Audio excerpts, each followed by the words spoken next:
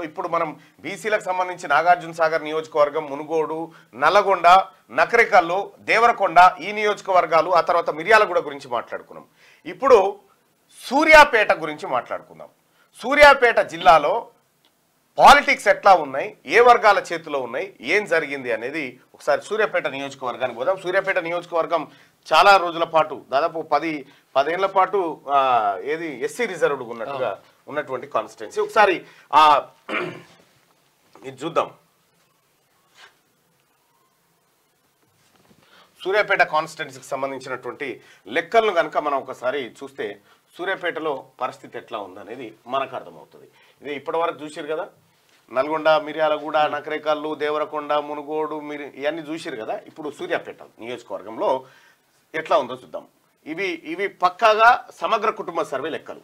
History and detailed analysis of Suryapet assembly constituency. Details of assembly ఎలక్షన్స్కి సంబంధించి చూస్తే ఎంతమంది ఓటర్లు ఉన్నారంటే రెండు లక్షల ఇరవై రెండు వేల ఏడు వందల అరవై తొమ్మిది మంది ఓటర్లు ఉన్నారు. ఇందులో ట్రాన్స్జెండర్స్ నలుగురు ఉన్నారు మహిళల సంఖ్య ఎక్కువగా ఉంది. అసెంబ్లీ ఎలక్షన్స్ టుక్ ప్లేస్ పదహారు పదహారు సార్లు అసెంబ్లీ ఎలక్షన్స్ అయినాయి సూర్యాపేటలో. Out of sixteen sixteen elections ఓసీలకు ఓసీలు ఐదు సార్లు ఎన్నికయ్యారు. ఓసీలు ఐదు సార్లు బీసీలు ఒక్కసారి ఎస్సీలు పది సార్లు అయ్యారు. ఎందుకంటే ఎస్సీలకు దాదాపుగా యాభై సంవత్సరాల పాటు అది ఆ, Reserved కా- రిజర్వ్ constituency. కాన్స్టిట్యున్సీగా ఉంది ఎస్సీలకు. వేదాస్ వెంకయ్య అట్లా చాలా మంది ఉన్నారు కదా. సో ఎస్సీలకు రిజర్వ్ అయినటువంటిది ఈ సూర్యాపేట. ఎస్సీ రిజర్వేషన్ పోగా అంటే పది పోగా ఇక మిగిలిన ఆరు. ఆరిట్లలో ఒక్కసారి బీసీ ఐదు సార్లు ఓసీలు. ఇక్కడ బీసీలకు దక్కినటువంటి ప్రాతినిధ్యం ఎంత అంటే ఒకే ఒక్కసారి పంతొమ్మిది వందల యాభై రెండు నుంచి ఇప్పటి వరకు సూర్యాపేట నియోజకవర్గంలో ఒకే ఒక్కసారి బీసీ ఎమ్మెల్యే అయిండు. అది కూడా బొమ్మగాని ధర్మభిక్షమే అటు నల్గొండలో బొమ్మగాని ధర్మభిక్షమే ఈడ బొమ్మగాని ధర్మభిక్షమే ఎంపీ కూడా ఆయన నకరికల్ బొమ్మగాని దక్షిణ ధర్మభిక్షమే అంటే ఆయనే ఆడో ఈడో గెలుచుకుంటూ వచ్చిండు. మనిషి. ఒక్కడే మనిషి బొమ్మగాని ధర్మభిక్షం. గౌడ్ గారు.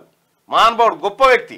అయితే ఆయన ఒక్కడు తప్ప బొమ్మగాని ధర్మభిక్షం గౌడ్ తప్ప. అది ఎప్పుడు? పంతొమ్మిది వందల యాభై రెండులోనే ఫస్ట్ జరిగిన ఎలక్షన్లో తప్ప. పంతొమ్మిది వందల యాభై ఆరు నుంచి పంతొమ్మిది వందల యాభై ఆరు నుంచి రెండు వేల ఇరవై మూడు డిసెంబర్ వరకు సూర్యాపేట నియోజకవర్గంలో ఒక్క బీసీ బిడ్డ కూడా ఎమ్మెల్యే కాలేదు ఇప్పటి వరకు. ఇప్పటి వరకు. పంతొమ్మిది వందల యాభై ఆరు అంటే ఈ ఇంట్లో యాభై ఆరులో పుట్టిన వాళ్ళు యాభై ఆరు పంతొమ్మిది వందల యాభై ఆరు కంటే ముందు పుట్టిన వాళ్ళు ఎవరైనా ఉన్నారా బాయ్సప్ ఉంటారు పెద్ద మనుషులు ఉంటారు. లైవ్ చూసే మిత్రులలో చెప్తా ఉన్నా. దయచేసి మార్నింగ్ న్యూస్ని లైక్ చేయండి అలాగే షేర్ కూడా చేయండి.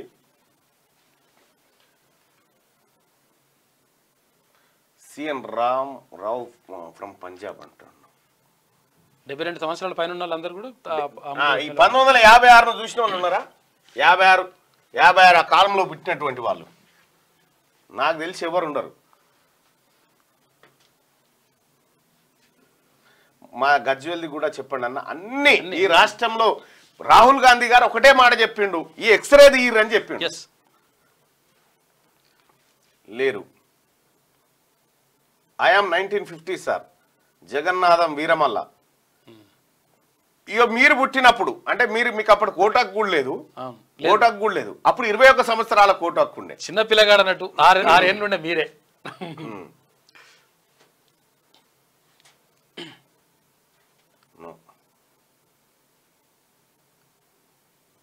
లేదు. అక్కడ పంతొమ్మిది వందల యాభై ఆరు నుంచి రెండు వేల ఇరవై మూడు దాకా సూర్యాపేటలో బీసీ ఆయన ఎమ్మెల్యేనే లేడు. ఇరవై మూడు కాదు ఇప్పుడు కూడా ఎప్పుడు లేడు. జడ్చర్ల మహబూబ్నగర్ అని చెప్తా. మా నిర్మల్ పట్టణాన్ని మర్చిపోయారు. ఏం మర్చిపోలే బాస్. అన్ని ఒక్కొక్క జిల్లాను కంప్లీట్ చేసుకుంటూ వస్తా ఉన్నాం. మనకి ఇప్పుడు నల్గొండ కంప్లీట్ అయిపోయింది. నల్గొండ కంప్లీట్ అయిపోయింది కాబట్టి ఇప్పుడు సూర్యాపేట జిల్లాకు చెప్తా ఉన్నాం. ఓ మీ నాయనల కాలం అది. మీ నాయనలు మీ తాతలు ముత్తాతల తాతల కాలం అది. దయచేసి ఈ బటన్ క్లిక్ చేయండి లైక్ చేయండి షేర్ చేయండి. కాబట్టి ఇక్కడ మనం పంతొమ్మిది వందల యాభై ఆరు నుంచి ఇది రెండు వేల ఇరవై నాలుగు ఇంకొక రెండేళ్ళు అయితే ఇరవై ఇరవై ఆరు అవుతుంది. ఇరవై ఆరు అవుతుంది. చూసుకో పంతొమ్మిది వందల యాభై ఆరు నుంచి ఇప్పటి వరకు సూర్యాపేట నియోజకవర్గానికి ఒక్క ఎమ్మెల్యే కూడా బీసీ నుంచి కాలేదు. ఇది ఇట్లుంటే ఒక్క బొమ్మగాని ధర్మభిక్షమే పీడిఎఫ్ పార్టీ నుంచి పంతొమ్మిది వందల యాభై రెండులో అయిండు. As per the demography of Suryapet constituency number of BC voters approximately మరి బీసీ ఓటర్లు ఎంతమంది ఉన్నారు? కాకపోవడానికి కారణం ఏంది? బీసీ ఓటర్లు లేరా అంటే యాభై నాలుగు శాతం మంది బీసీ ఓటర్లు ఉన్నారు అక్కడ. యాభై నాలుగు శాతం మంది.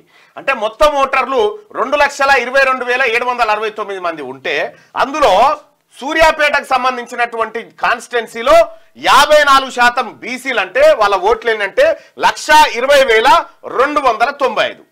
లక్ష ఇరవై వేల రెండు వందల తొంభై ఐదు ఓన్లీ బీసీ ఓటర్లు. అయితే సూర్యాపేట నియోజకవర్గానికి సంబంధించినటువంటి రిజల్ట్ ఒకసారి చూస్తే అరవై ఎనిమిది ఏళ్ళ నుంచి ఒక్కరు కూడా లేరు ఇప్పటి వరకు.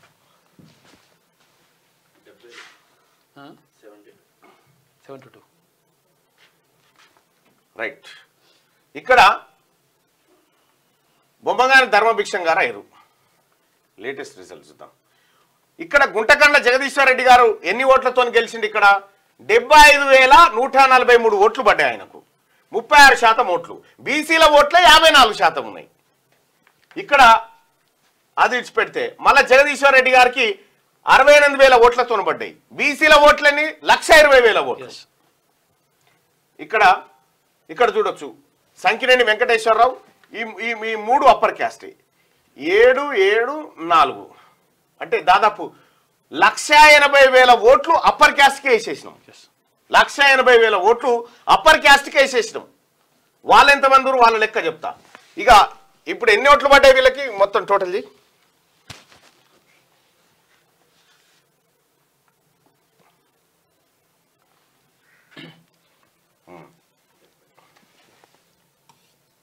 చేయి డెబ్బై గిడి గీయాల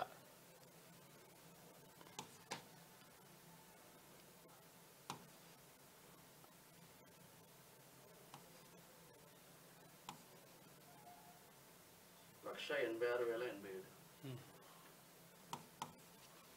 ఆ, లక్ష ఎనభై ఆరు వేల ఎనభై ఏడు ఓట్లు. లక్ష ఎనభై ఆరు వేల ఎనభై ఏడు ఓట్లు మనం ఓసీలకు వేసినాం. సూర్యాపేట నియోజకవర్గంలో. ఇక్కడ బీసీ నుంచి నిలబడ్డటువంటి ఒట్టె జానయ్య గారు ఉన్నారు ఒట్టె జానయ్య గారికి ఎన్ని వేసినాం? పదమూడు పదమూడు వేల ఓట్లు. పదమూడు వేల ఓట్లు వేసినాం మనం ఇక్కడ. పదమూడు వేల తొమ్మిది వందల ఏడు. పదమూడు వేల తొమ్మిది వందల ఏడు ఓట్లు వేసినాం. అంటే ఇక్కడ దాదాపు లక్ష ఎనభై ఆరు వేల ఎనభై కోట్ల ఎనభై ఏడు. సున్నా ఎనభై ఏడు. ఇన్ని ఓట్లు వీళ్ళకేస్తే పదమూడు వేల తొమ్మిది వందల ఏడు ఓట్లు ఒట్టె జానయ్య గారికి వేసినాం. ఇది మనం బీసీలకు వేసుకున్న ఓట్లు. ఇదేమో మనం ఓసీలకు వేసినటువంటి ఓట్లు.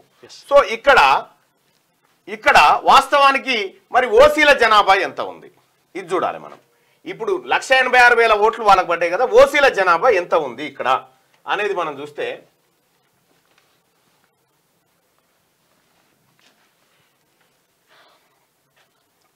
ఎంత? As per demography of Suryapet constituency number of OC voters are approximately eight point six percent which will be around పంతొమ్మిది వేల. ఇక చూడరి.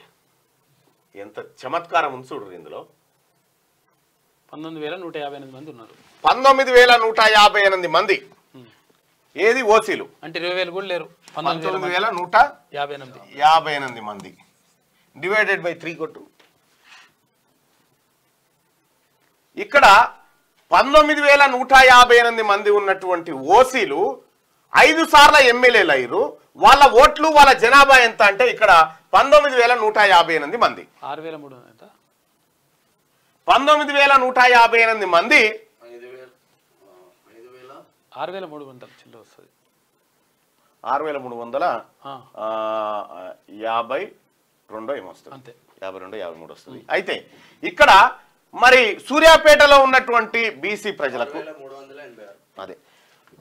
సూర్యాపేటలో ఉన్నటువంటి బీసీ ప్రజలారా మీరేమో లక్ష ఇరవై వేల మంది ఉన్నారు. ఈడ ఓసీలేమో పంతొమ్మిది వేల నూట యాభై ఎనిమిది మంది ఉన్నారు. మరి ఇక్కడ ఎమ్మెల్యే కావాల్సింది ఎవరు? బీసీలు కదా కావాల్సింది.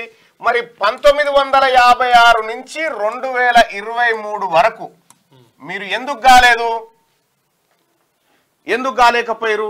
ఇక్కడ వాళ్ళ ఓట్లు కేవలం పంతొమ్మిది వేల నూట యాభై ఎనిమిది. వీళ్ళు ముగ్గురు పంచుకుంటే ముగ్గురు పంచుకుంటే ఒకరి వాళ్ళకి ఎంత వస్తాయి అంటే?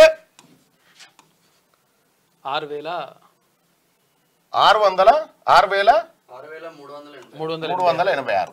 ఒకరొకరికి ఆరు వేల మూడు వందల ఎనభై ఆరు ఎనభై ఆరు ఓట్లు రావాలి. కానీ కానీ ఇక్కడ వచ్చింది ఏంది? ఆరు వేల ఓట్లు రావాలి వీళ్ళకు కానీ డెబ్బై ఐదు వేలు డెబ్బై వేలు నలభై వేలు. ఇవి ఎట్లా వచ్చినాయి అంటే మన ఓట్లు వాళ్ళకేసి మనము బిచ్చం అడుక్కుంటున్నాం అన్నట్టు. మనం బిచ్చం అడుక్కుంటా ఉన్నాం. ఇక్కడ సూర్యాపేట నియోజకవర్గంలో వాళ్ళ పాపులేషన్ పంతొమ్మిది వేలు బీసీల పాపులేషన్ లక్ష ఇరవై వేలు. బీసీల ఓట్లు బీసీలు వేసుకుంటే అందులో సగం వేసుకుంటే చాలు ఎమ్మెల్యే అంతే. సగం ఓట్లు బీసీల ఓట్లు బీసీలకు పడితే ఎమ్మెల్యే. ఇది సూర్యాపేట నియోజకవర్గం. ఇక్కడ ఇక్కడ చూస్తే మనం సూర్యాపేటలో రెండు వేల ఇరవై మూడు జగదీశ్వర్ రెడ్డి రెండు వేల పద్దెనిమిది జ జగదీశ్వర్ రెడ్డి ఆ తర్వాత పద్నాలుగులో జగదీశ్వర్ రెడ్డి ఆ తర్వాత తొమ్మిదిలో రామరెడ్డి దామోదర్ రెడ్డి. ఇట్లా ఓట్లు వాళ్ళకేసి మనము ఇక్కడ అడుక్కుంటున్నది ఏంటంటే క్లియర్గా క్లియర్గా మనం అడుక్కుంటుంది ఏంటంటే మాకు పెన్షన్లు కావాలి. ఓట్లు మీయే. మీ ఓట్లు అందుకే అంబేద్కర్ ఏం చేసిందంటే మీ ఓట్లను సారా పెట్టుకుంటారు మీ ఓట్లను సారా పెట్టుకుంటారు ఇంకా గమ్మత్ చూపిస్తా చూడరు ఇక మీకు ఇక.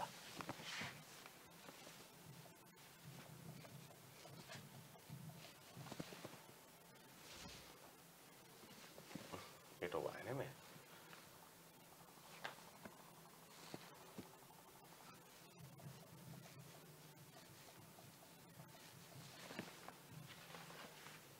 రైట్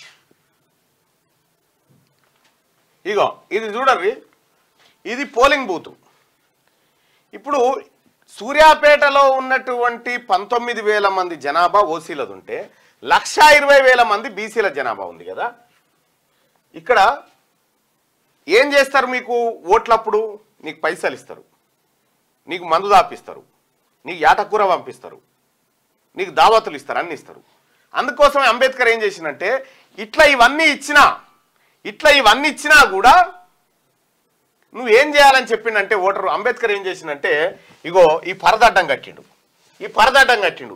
నీ కాడి బయట ఎన్ని ఇచ్చినా కూడా లోపలికి వచ్చినాక నీ ఓనికి నువ్వు ఓటేసుకోమని చెప్పి ఈ పరదడ్డం కట్టిండు. ఈ పరద సాటుకు పోయి నువ్వు ఓటేస్తే ఎవడు చూడడు ఇక ఎవడు చూడని ఛాన్సే లేదు ఇక ఈ పరద సాటుకు పోయి కనీసం నీ ఓనికి నువ్వు ఓటేసుకుని నేర్చుకో అని అంబేద్కర్ ఆయ- ఆయన కట్టిన ఆలోచన చేసి పరద అడ్డం కట్టిండు. ఆ పరద అడ్డం కడితే కూడా మనకు సొయ్యాలి నువ్వు ఏం చేయాలి? నీకు ఇల్లు ఇస్తాను మోసం చేసిండు. నీకు నౌకరిస్తాను మోసం చేసిండు. నీకు భూమి ఇస్తాను అని మోసం చేసిండు. నీకు నీళ్ళు ఇస్తాను మోసం చేసిండు. నీకు పథకాలు ఇస్తా అని మోసం చేసిండు. నీకు రోడ్డు పోస్తా అని మోసం చేసిండు. నీకు నీళ్ళ ట్యాంక్ కడతా అని మోసం చేసిండు. నీకు బడి కడతా అని మోసం చేసిండు. నీకు అంగన్వాడి కడతా అని మోసం చేసిండు. నీకు దవాఖాన కడతా అని మోసం చేసిండు. ఇన్ని మోసాలు చేసినటువంటి వ్యక్తి ఐదు వందల రూపాయలు ఇచ్చేయంగానే కోటర్ ఇచ్చేయంగానే తాగితిమి తింటిమి కానీ నువ్వేం చేయాలి? ఇన్ని ఇస్తా అని మోసం చేసిన నువ్వేం చేయాలంటే ఈ పరద సాటుకు పోయి నువ్వు కూడా మోసమే చేయాలి. ఈ పరద సాటుకు పోయి నువ్వు కూడా మోసమే చేస్తే అప్పుడు నీకు అసలైనటువంటి ఎన్నికల్లో నువ్వు పాల్గొన్నట్టు లెక్క. మరి మల్లన్న ఎట్లా? ఐదు వందలు ఇచ్చేవాడు విమానం తినమని. ఐదు వందలు ఐదు. వందలు ఇచ్చి దేవుని ఫోటో మీద చేయబెట్టమని. ఓ పని చేయరి. ఒకవేళ అటువంటి పరిస్థితి వస్తే ఆ ఒట్టు నా మీద పెట్టురు మనసులా ఈ ఒట్లతోని బిట్లతోని అయ్యేది లేదు పీకేది లేదు. వట్టిదే అదంతా. కేవలం మిమ్మల్ని మానసికంగా సిద్ధం చేయడమే. ఈ పరద అడ్డం పరద అడ్డం కట్టింది ఎందుకు? ఎవరు చూడకుండా. నీకు ఎన్ని నీకు ఎన్ని చెప్పినా వాడు పరద అవతలని చెప్పాలి. పరద సాటుకు వచ్చిన తర్వాత నువ్వు ఒక్కనివే ఉంటావు చూడు. అప్పుడు కొట్టు దెబ్బ అని చెప్పిండు అంబేద్కర్. అప్పుడు కొట్టు నీ దెబ్బ అని చెప్పిండు. అర్థమైందా? ఇది ఏది? సూర్యాపేట కాన్స్టిట్యూన్సీ సార్ నిజాయితీ ఏడు చూపిస్తారు వాళ్ళు. ఓట్లేసి దగ్గర. ఓట్లేసే కాడ నిజాయితీ ఏం అక్కర్లేదు. ఐదు వందలు తీసుకుంటే నీతి నిజాయితీ ఓట్లేసే కాడ ఏం అక్కర్లేదు. మీ నిజాయితీ పక్కకు పెట్టురాడ? ఐదు వందలు తీసుకుంటే అవినీతి విషయంలో నిజాయితీ వద్దు. నీ ఐదు వందల రూపాయల మాటున నీ కొడుకు దవాఖానా? నీ కొడుకు బడి నీ భవిష్యత్తు నీ పిల్లల ఉద్యోగాలు నీ జీవితాలన్నీ ఐదు వందల రూపాయల నోటుతో చెరిపేసేటువంటి కుట్ర అది. కాబట్టి తస్మాత్ జాగ్రత్తగా ఉండండి బీసీ ప్రజలారా. సూర్యాపేటకు సంబంధించి. ఇక సూర్యాపేటలో నాలుగు మండలాలు ఉన్నాయి. ఒకటి సూర్యాపేట రూరల్ మండలం తర్వాత ఆత్మకూరు తర్వాత చివెంల ఆ తర్వాత పెన్పాడ్. ఈ నాలుగు మండలాలు ఉన్నాయి. ఈ నాలుగు మండలాలకు సంబంధించినటువంటిది ఒక్కసారి జెడ్పీటీసీల వివరాలు కనుక మనం చూస్తే మండల వైజ్గా చూస్తే ఇక్కడ ఎస్సీ నోట్ ఎస్సీ రిజర్వ్ అయింది. సూర్యాపేట రూరల్ మండలం SC ZPTC SC Atmakur unreserved అయింది ఇక్కడ బీసీ గౌడకి ఇచ్చిరు బీసీ గౌడకు. బీసీ గౌడు అసెంబ్లీ నియోజకవర్గానికి పంతొమ్మిది వందల యాభై రెండులో ఎమ్మెల్యే అయితే ఇగో ఆత్మకూరులో ఒక జడ్పీ టెస్టిండు అంటే బీసీ బీసీ గౌడ్లకి ఏం జరిగిందంటే ప్రమోషన్ కాదు డిమోషన్. ఎమ్మెల్యే నుంచి జడ్పీ కిందికి అంతే. రైట్ ఇక్కడ. ఇక చివ్యంలా షెడ్యూల్ ట్రైబ్స్కి రిజర్వ్ అయింది. షెడ్యూల్ ట్రైబ్సే. పెన్పాడు ఎస్సీకి రిజర్వ్ అయింది ఎస్సీకే. సో ఇది ముఖ చిత్రం. బీసీలు అన్రిజర్వ్డ్ సీట్లో గెలవగలిగిర్రు. సీట్ నువ్వు టికెట్ ఇస్తే పక్కా గెలుస్తారన్నట్టు గెలవగలిగిర్రు బీసీలు. ఎస్ ఏది? సూర్యాపేటలో. ఎందుకంటే ఓట్లన్నీ వాళ్ళేనా. సో ఇట్లా ఇది సూర్యాపేట కాన్స్టిట్యున్సీకి సంబంధించినటువంటి ముఖ చిత్రం. ఈ పరద సాటుకు పెట్టిన సంగతి మర్చిపోకుర్రి. రైట్ మార్నింగ్ న్యూస్ చూస్తున్నటువంటి మిత్రులారా ఈ లైక్ బటన్ క్లిక్ చేయండి అలాగే షేర్ కూడా చేయండి. ఆసరా పెన్షన్ స్కీమ్ రెండు వేల పన్నెండు నుంచి ఉన్న కిలోమీటర్ రేట్ ఇప్పటి వరకు క్యాబ్ డ్రైవర్లదా? ప్రభుత్వం చెల్లించాలి ఆసరా పెన్షన్ స్కీమ్ ఆరు వేలు దీనిపైన ప్రభుత్వం చెప్పాలని చెప్పి చెప్తున్నారు ఎస్ ఓసీలకు కూడా రిజర్వేషన్ కావాలి. హండ్రెడ్ పర్సెంట్ కావాలి. ఎస్ ఇవ్వాలి హండ్రెడ్ పర్సెంట్ కావాలి. ఎవరికెంతో వాళ్ళకంత. అంతే. ఇవ్వాలి ఓసీలకు కూడా వాళ్ళ జనాభా ఎంత ఉందో అంత మనం ఇచ్చేయాలి. అక్కడ కూడా పేదలు ఉన్న వాళ్ళకి ఆ, పేదోళ్ళకి దక్కొద్దా? అన్యాయం జరగదు వాళ్ళకు? రైట్ వాళ్ళకు కూడా అందుకే రాహుల్ గాంధీ సాబ్ ఏమంటా ఉన్నాడు? జిత్నే ఇచ్చేదారి ఉత్తినే బాగేదారి అంటుండు. అంటే నీ నీ వాటా ఎంత ఉందో నువ్వు అంత భాగం నీకు దక్కాలని చెప్తా ఉన్నాడు. ఇది రాహుల్ గాంధీ గారి మాట. ఆయన గ్రేట్ పొలిటీషియన్ నేను నేను నేను నిన్న మొన్న చెప్పిన. తెలంగాణ రాష్ట్రానికి చివరి ఓసీ ముఖ్యమంత్రిగా రేవంత్ రెడ్డి గారే ఉంటారని చెప్పిన. రాహుల్ గాంధీ గారి ఆలోచన ఆయన విజన్ హండ్రెడ్ పర్సెంట్ కరెక్ట్ అయితే కరెక్ట్ అవుతుంది కూడా.